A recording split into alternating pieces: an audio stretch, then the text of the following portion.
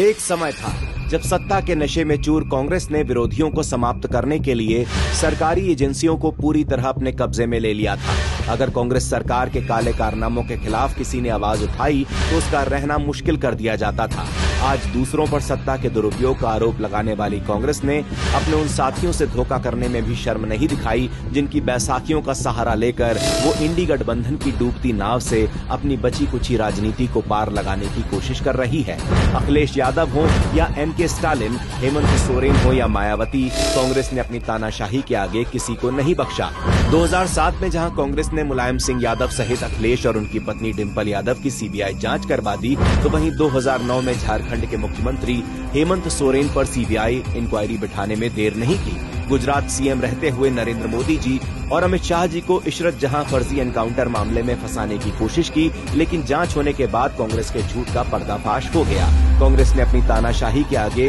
BJP के नेताओं और सरकारों को सरकारी एजेंसियों से डराने, धमकाने और नुकसान पहुँचाने में कोई कोर कसर बाकी नहीं रखी सत्ता में रहते हुए तानाशाही भरा कांग्रेस का काला इतिहास रहा है, इसलिए उसे अपने चश्मे से सब काला ही नज़र आता है।